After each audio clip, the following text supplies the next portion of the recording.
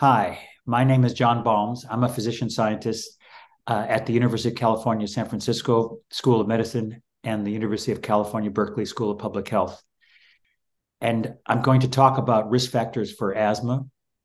And uh, I think most of you know that asthma is uh, a hereditary disease in, in part. Uh, and it's also a classic gene by environment disease. So the genes that you inherit that put you at risk for asthma interact with various uh, exposures, which are shown on this slide. Smoking is a classic one.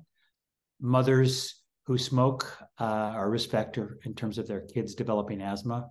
Uh, occupations of both parents are a risk factor for developing asthma in children. Certainly, infections, especially RSV and other viral infections, Socioeconomic status, low income children of color are at greater risk for developing asthma.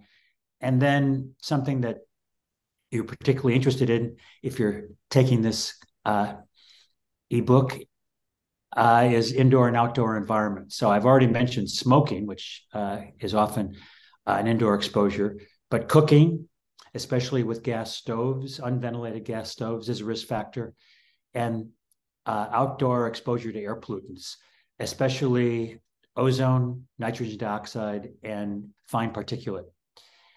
A couple other factors that people often forget about one is obesity, especially in adolescence. And in younger kids, boys are at greater risk than girls, but in adolescence, it flips, and girls are at greater risk than boys for developing asthma.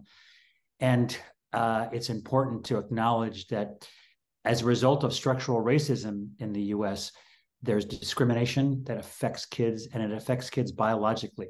There's greater psychosocial stress, which has direct biological effects on children that increase their risk of asthma.